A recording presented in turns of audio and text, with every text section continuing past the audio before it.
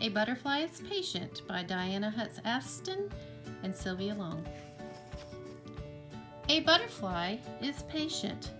It begins as an egg beneath an umbrella of leaves, protected from rain, hidden from creatures that might harm it, until the caterpillar inside chews free from its egg casing, tiny, wingless, hungry to grow. A butterfly is creative. A caterpillar feeds on leaves, eating so much that it must molt or shed its skin many times. It can grow up to 30,000 times larger than it was when it first it took its first bite. Once a caterpillar has eaten all that it needs, it creates a protective covering called a chrysalis. Curled inside the chrysalis, it is growing wings. Now it is time for metamorphosis, changing from one form to another. A butterfly is helpful.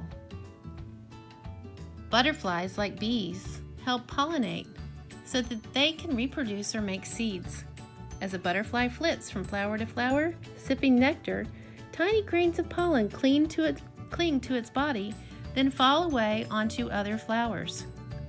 Seeds are only produced when pollen is transferred between flowers of the same species. This is called pollination. A butterfly is protective. Butterflies use their wings to protect themselves from predators such as hungry birds, lizards, and other insects. Some butterflies have markings on their wings called eye spots. Scientists don't know what they are used for. Perhaps to scare away predators or attract mates. Wings can help butterflies camouflage or hide themselves in the environment. One kind of butterfly, the peacock butterfly, makes a hissing sound by rubbing its wings together when it is alarmed. A butterfly is poisonous.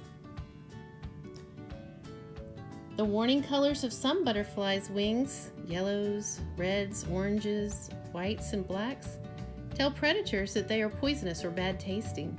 Monarchs and pipevine swallowtails eat poisonous plants as caterpillars so that they become poisonous as adults. Birds and other insects have learned not to eat them.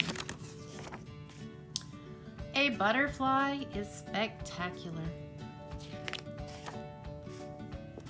A butterfly is thirsty.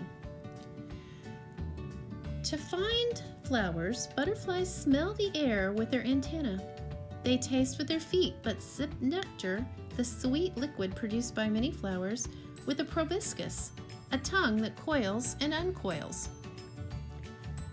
Some butterflies get their nourishment from marauding fruit or minerals. Often a kaleidoscope of butterflies gather as a puddle club in mud near a pond or a lake to drink, water rich in salts and minerals. A butterfly is big and tiny. The rare Queen Alexandra birdwing is the largest butterfly in the world with wings that can span up to one foot. It lives in the rainforest in northern Papua New Guinea. The smallest is the rarely seen Aryan blue, small blue found in Afghanistan with a wingspan of less than one third of an inch, about the length of a grain of rice. A butterfly is scaly. A rainbow of shiny, powdery scales covers the wings of a butterfly, scales stacked like a shingle, like shingles on a roof. Without scales, its wings would be as transparent as the wings of a bee or a dragonfly. The colors, patterns, and shapes of a butterfly's wings have a purpose. Some use their pattern of colors to attract mates. In places where the climate is cool, dark scales absorb heat from the sun, warming the butterfly's flight muscles. Butterflies are cold blooded and must have a body temperature of 86 degrees Fahrenheit to fly.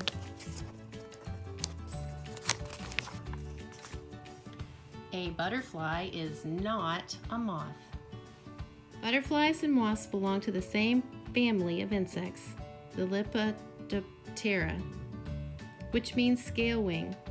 They are the only insects with scaly wings, but there are differences between them.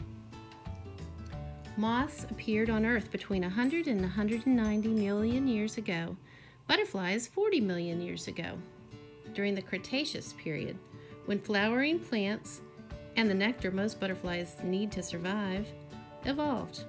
Nearly every kind of butterfly flies during the day, while most moths fly at night. A moth spins a cocoon made of silk, while a butterfly wraps itself in a chrysalis or exoskeleton made from its skin. A butterfly is a traveler. Most butterflies, such as the red admiral or the common buckeye, migrate a short distance to find a warmer place, but some, like the monarch, travel far. Although monarchs weigh only as much as a few rose petals, they can fly almost 3,000 miles from Canada to their winter home in Mexico at a rate of 20 miles per hour. Glider pilots have reported seeing monarchs flying at an altitude of 11,000 feet, higher than some clouds. A butterfly is magical. Monarchs gather in huge numbers in the forests of central Mexico waiting for spring. Then they fly north to the milkweed plants in North America, where they lay their eggs. Now it is time again for their metamorphosis. A butterfly is patient. The egg hatches, the caterpillar emerges, feasting on leaves before it wraps itself into its warm protective chrysalis, patiently waiting. To soar.